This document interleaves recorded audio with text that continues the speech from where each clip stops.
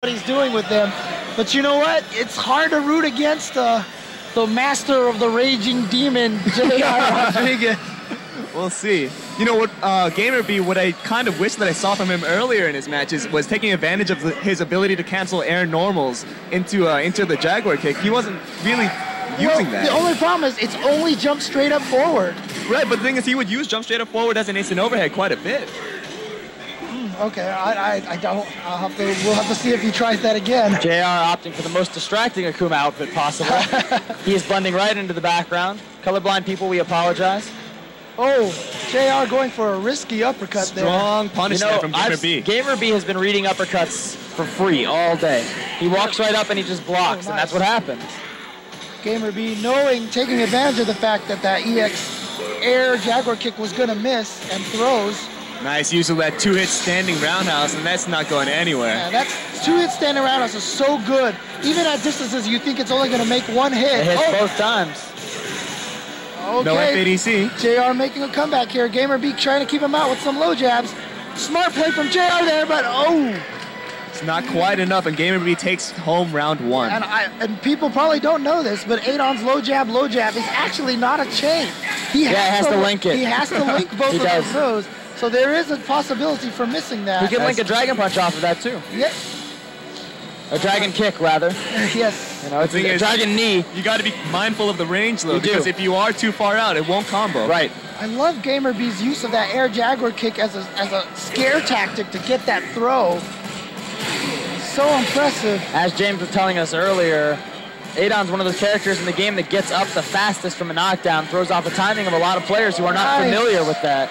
Jump straight up roundhouse there to take the game. That move's very good, hits very far down.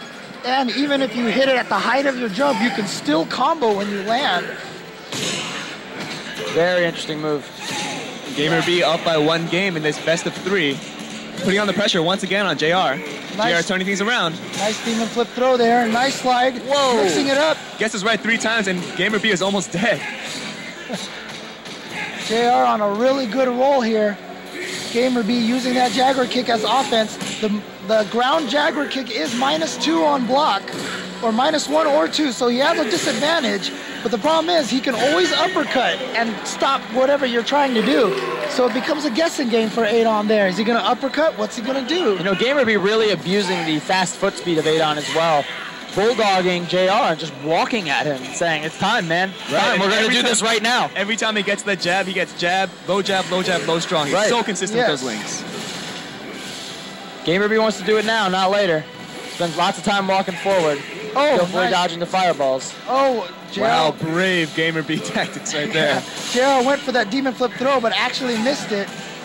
Gamerbee using Ultra One. Oh, And that's JR Rodriguez for you, ladies and gentlemen. Yes, That's it one raging demon. Oh, Oh no! He missed that.